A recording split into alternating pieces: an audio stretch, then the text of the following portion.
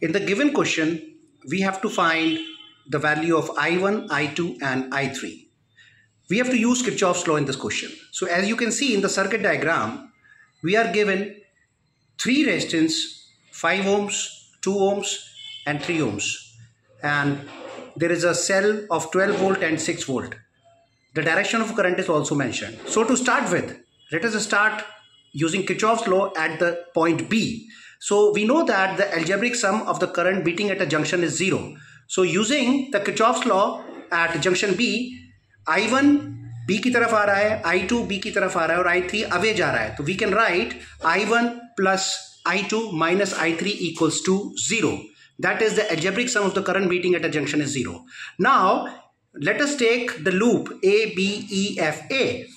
तो अगर आप loop A B E F A को देखेंगे तो हम देखेंगे कि ए से बी करंट जा रहा है आई वन फिर बी से ई e आ रहा है आई थ्री तो we are going in the same direction that is A B E F A so we multiply two with I three that would be positive then twelve volt रास्ते में आपको नज़र आ रहा है, और उसका पहले नेगेटिव टर्मिनल आ रहा है. It means that it should be equal to plus के ट्वेल्व वोल्ट और फाइव इंटू आई वन वो भी हम प्लस का ही कंसीडर करेंगे क्योंकि हम उसी दिशा में जा रहे हैं जिधर करंट जा रहा है। तो in the loop A B E F A if we consider we can write two I three plus five I one equals to twelve similarly we will consider the other loop that is B C D E B in B C D E B if you look the direction of the current is not from B to C. It is going in the opposite direction. And from C to D, there is I2 current going in the opposite direction. So we will use minus 3 I2 and in the arm B E अगर हम देखें तो यहाँ भी उल्टी दिशा में current है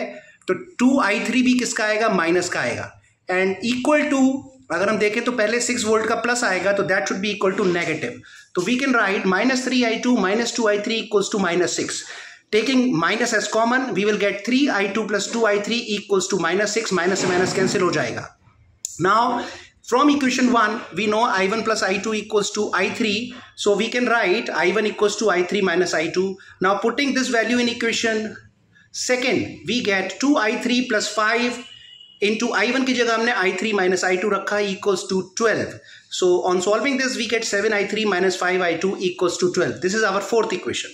Now to go further from here, we will multiply equation 3 by 5. Equation three जो है हमारी वो है three I two plus two I three equals to six इसे अगर हम फाइव से मल्टीप्लाई करेंगे तो we will get fifteen I two plus ten I three equals to thirty in the same way जो हमारी इक्वेशन फोर है हम उसे थ्री से मल्टीप्लाई करेंगे we will get twenty one I three minus 15 i2 equals to 36 now we will add equation 5 and 6 and we will see that i2 will cancel out and the value of i3 comes out to be 66 upon 31.